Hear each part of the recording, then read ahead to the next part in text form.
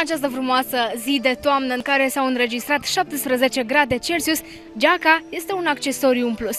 Așa că după îndelungi căutări am reușit să găsesc și eu o bancă unde să mă așez și să profit de vremea frumoasă de afară.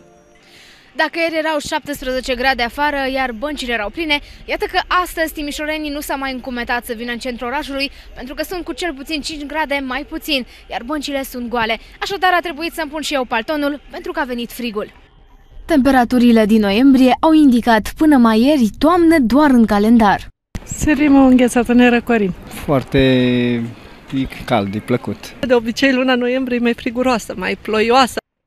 Astăzi însă frigul și norii groși au luat locul razelor soarelui. Ca început de iarnă.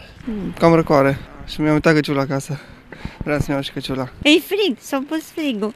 Astăzi este mai rece, într-adevăr. Văd că începe să se răcească.